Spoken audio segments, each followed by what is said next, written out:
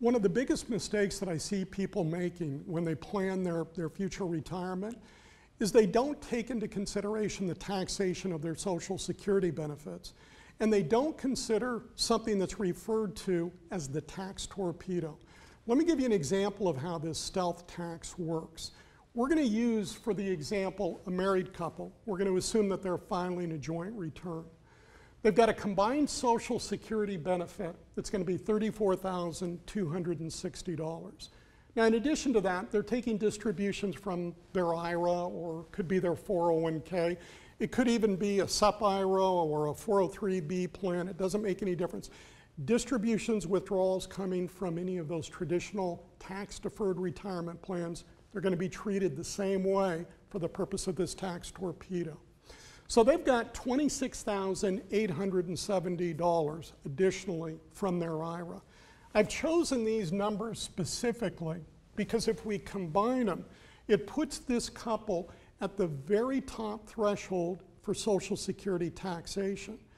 When we're talking about the tax torpedo, we're not talking about the income under this threshold, we're only talking about income that exceeds this threshold. So let's say these people, let's say they want to take a cruise or they want to play some more golf or do some fun things in retirement, and they need to withdraw more money from their IRA in order to be able to do that. Let's say they take just one extra dollar from their IRA. Now, most people know that this money that's sitting in their IRA and their 401k, it's never been taxed. And most people are prepared that when it comes out, when they withdraw it, they will have to pay taxes on the money. What they're not prepared for is the impact that this dollar has on the taxation of their Social Security benefits. Again, because that dollar was over that top threshold for Social Security taxation, the withdrawal of it also creates 85 cents of taxable income from one of their Social Security dollars. They've only got an extra dollar that extra dollar, when added to the extra 85 cents of taxable income that it created on a Social Security dollar, means that their total taxable income by withdrawing that one dollar is $1.85. But think about this a minute. They've only got an extra dollar to spend, but that withdrawal of that dollar over that top threshold creates $1.85 of taxable income. Let's assume that these people are taxed at a rate of 25%. That's their marginal tax rate. It's not 25% of the extra dollar, it's 25% of the dollar 85. That means that that creates a tax of 46 cents. 46 cents, they've only got an extra dollar to spend, 46 cents in this example goes to taxes.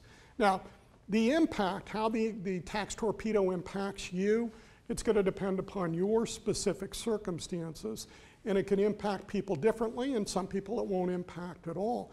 If you're concerned about this, it's a good idea to talk to your tax professional uh, uh about it. This has a tremendous impact on people because it's unexpected. People, when they reach retirement, they're not expecting to be taxed at these kinds of rates. If, if you think about this, effectively, paying 46 cents of tax on $1, effectively that means, or you could say that these people are effectively taxed at a rate of 46%. So that can derail an awful lot of retirement plans paying taxes that high. Such an important topic that I feature it in chapter 7 of my book, How to Avoid a High Wire Retirement.